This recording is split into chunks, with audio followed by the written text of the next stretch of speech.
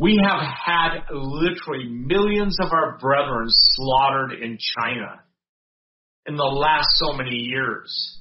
We have had people literally uh, uh, put up on YouTube, send a video uh, through whatever internet connection they have, only to be murdered after that video hits the uh, airwaves or it hits the internet.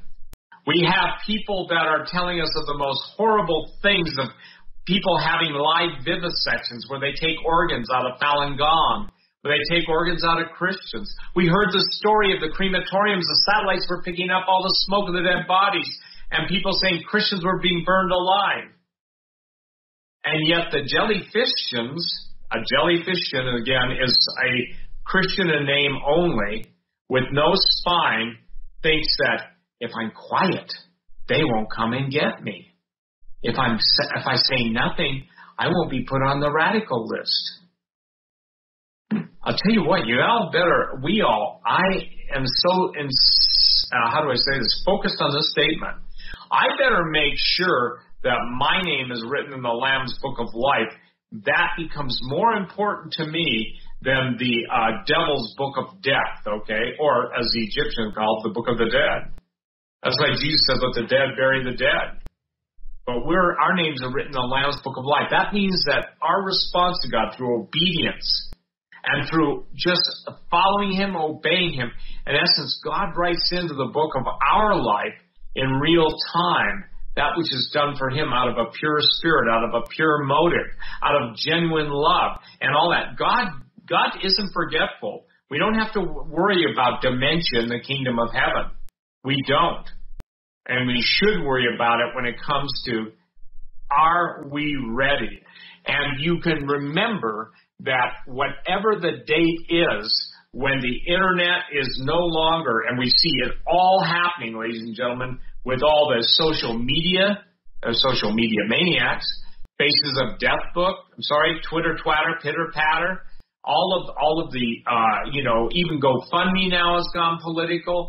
Everybody's going political, and if you are not in their system, you can't even pay your bills. What about my mortgage? Forget it.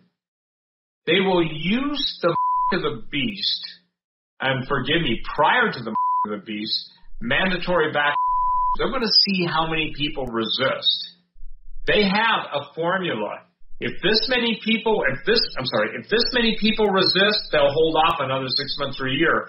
If this few resist, they'll go for it on the spot. Resistance isn't futile, it's necessary. Because the scripture in the book of Hebrews says we have not yet resisted evil to the shedding of our blood. That means we're willing to die for what we believe. Hey, Muslims are, and and and but the Christians never command to go out and blow up, uh, you know, roadside IEDs or any of that stuff. But the thing is, is that and the devil makes war on the Lamb, that's Jesus Himself, and on His followers. And and Doug, most of the prophecies out there that have been given over since George Washington's vision. Yeah, you know, what are they, almost 400 years old now? Some of them, George Washington's vision would be, you know, whatever, just 400 years old or what, what the number of the math is. Yeah. But the thing is, is they're all saying the same thing. I would say this, if you don't believe God's long suffering, if you don't believe God's merciful, think about when he started warning because he is God and he knows the end of a thing at the beginning of a thing. And he also knows that he's not caught off guard. He knows exactly what he's going to do. When Christians ask him, God, how are you going to protect us? He said, How did I protect Daniel? Lion's den? Well, I had one friend that said, Well, I'm going to stay away from the zoo then. I said, That's not the point. You know, Shadrach, Meshach, and, and Abednego in the fire, yet one like unto the Son of Man was in there with him. When Jesus is with you, he's the one that gives us the the stamina and the endurance where we don't have it in ourselves. He's the one that is with us. He abides with us, and He'll never leave us nor forsake us. So, what what is is the most? I would say this: the most important point today on this broadcast is understand that the total war against Christians is underway. Persecution will be unequaled by any time in history. Jesus said, There's never been time like it, nor would be again, except the days be short for the elect's sake. Those days are being shortened, but there be no flesh left alive. That's really sobering, you know? That's truly sobering. And uh, I think it's becoming more apparent, Doug, that, and, and this is only known to God, this is a wild guess on my part, how many of us take the Word of God seriously? And then how many of us take the Word of God serious enough to act on it? Even Coach Dave, I posted his article today. Bravo for Dave Daubenmire. He basically said, I ain't wearing no more masks, you know? Well, they won't Amen. let me in the door.